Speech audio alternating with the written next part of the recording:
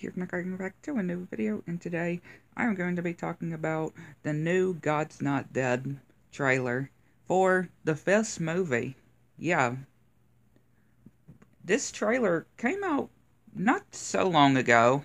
I mean, just from what it shows, it says a day ago, at least from making this video, was a day ago. But I just noticed it. I don't know how I didn't notice it yesterday.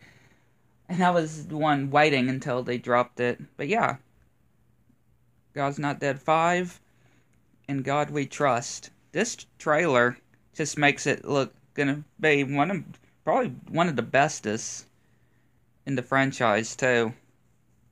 Just from the trailer. Again, I don't want to say much of the trailer because uh, again, I want a lot of y'all to watch it yourselves. But yeah, this definitely looks like it's gonna be a good one.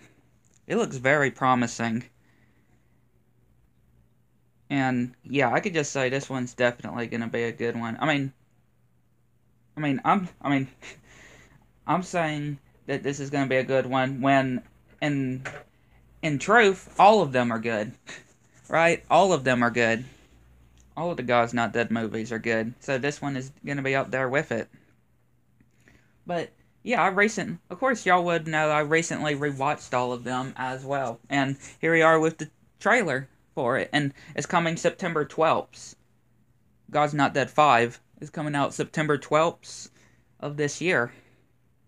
I'm definitely excited to watch this. Definitely one of my favorite franchises. Yeah, I'd like to know what y'all think if y'all saw the trailer, and if y'all haven't, go and check it out, because this movie definitely looks like it's going to be promising and very good.